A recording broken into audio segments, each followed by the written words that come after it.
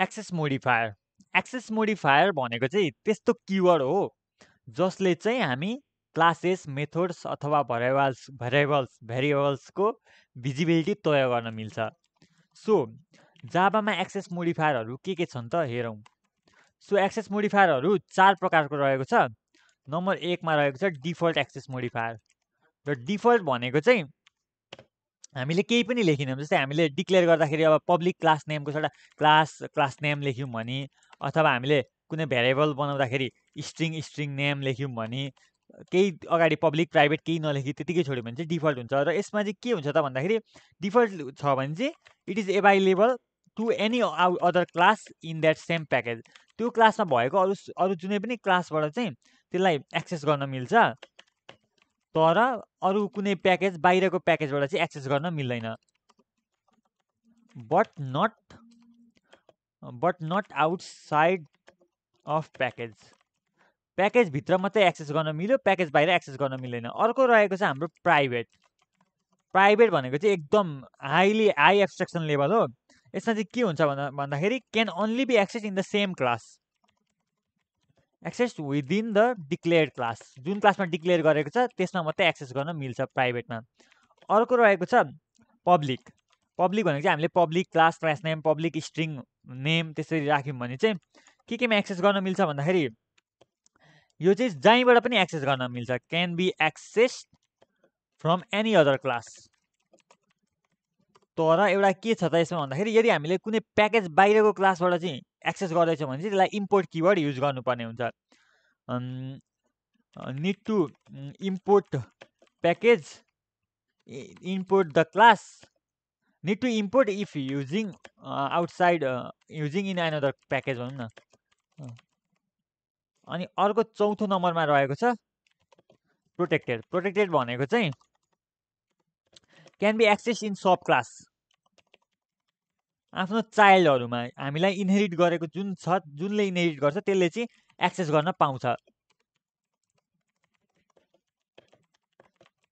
अरू प्याकेजको है अरू प्याकेजको चाहिँ सब क्लासले मात्रै एक्सेस गर्न पाउँछ तर हाम्रै आफ्नै प्याकेज जुन प्याकेजमा क्लासहरू छ एउटै फाइलमा अथवा एउटै प्याकेजभित्रको जुन जुन फाइल छ त्यहाँ चाहिँ सबैले एक्सेस गर्न मिल्छ।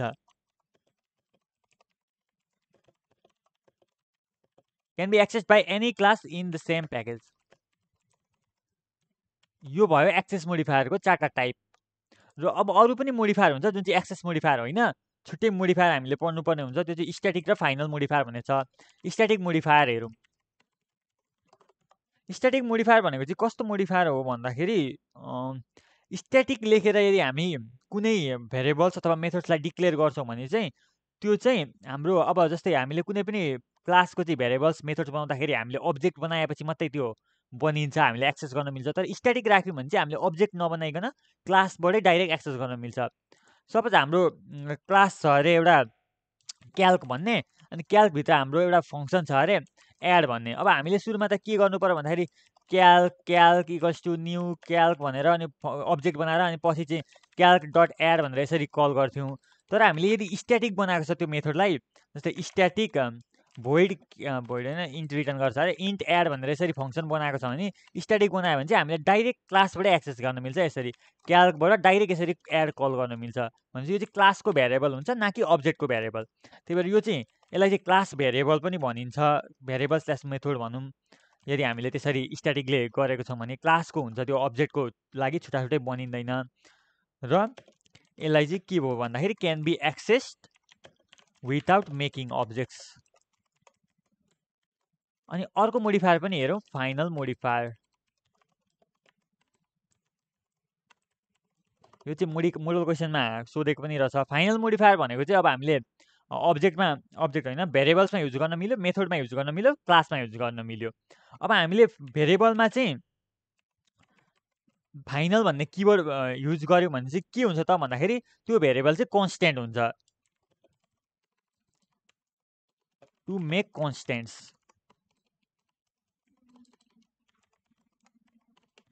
कन्सटेन्ट हामीले यदि कुनै भेरिएबल जस्तै स्ट्रिङ स्ट्रिङ स्ट्रिङ नेम छ भने यसको अगाडि चाहिँ हामीले फाइनल स्ट्रिङ नेम लेखिदिउँ भने चाहिँ अब यो चाहिँ कन्सटेन्ट कन्सटेन्ट भयो। अब यसले नेमलाई फेरि हामीले तल गरेर चेन्ज गर्न मिल्दैन। यो चाहिँ फाइनलाइज भयो भनेको। सिमिलरली फाइनल मेथोड छ भने चाहिँ हामीले के गर्न मिल्दैन भने ओभर राइडिङ गर्न मिल्दैन।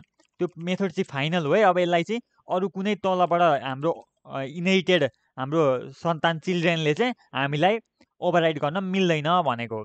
अनि अझै फाइनल क्लास भनेको चाहिँ हामीले इनहेरिटेन्स गर्नै नदिने टु प्रिभेन्ट इनहेरिटेन्स हामीले इनहेरिटेन्स गर्नै दिँदैन। सो यो फाइनल मोडिफायर मोडल क्वेसनमा सोधेको छ। सो अब एक्जाममा दस मार्क्समा सोधेको छ यो क्वेसन सो अब यसको लागि चाहिँ हामी प्रोग्राम बनाउने प्रोग्राममा देखाउने। टक्क अब यसरी अब फाइनल भेरिएबलको केसमा फाइनल स्ट्रिङ नेम बनाएर अनि पछि अब जस्तै नाममा केही भ्यालु एडिट गरेर देखाउने इनिसियल एउटा भ्यालु दिएर अनि त्यो एडिट हुँदैन भनेर भनिदिने त्यसरी गर्ने अनि मेथडमा पनि त्यही हो ओभरराइड गर्ने अनि गर्ने क्लासमा पनि त्यसै गर्ने इरर आउँछ भनेर। So that is it